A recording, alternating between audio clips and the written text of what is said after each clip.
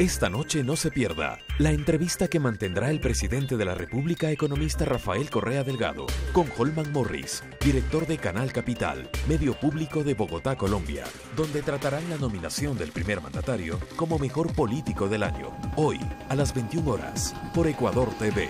Me gusta.